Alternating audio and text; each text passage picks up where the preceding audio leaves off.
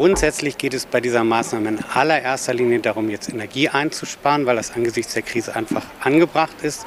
Das ist mit Einschränkungen verbunden, das lässt sich nicht vermeiden.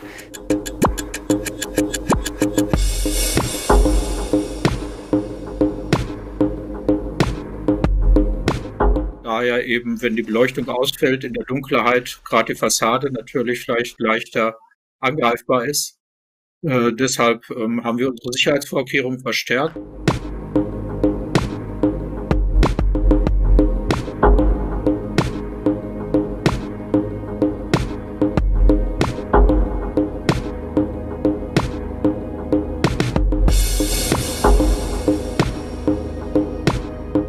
Erstmal ist, sind natürlich entstehen Kosten durch das, äh, durch das äh, Abknapsen sozusagen der Leitungen, äh, das ist klar. Und es wird ein bisschen was eingespart am Strom, aber wie gesagt, die Außenbeleuchtung ist ein kleiner Schritt. Äh, die wirklich wichtigen Dinge, die werden im August im Senat gemeinsam besprochen.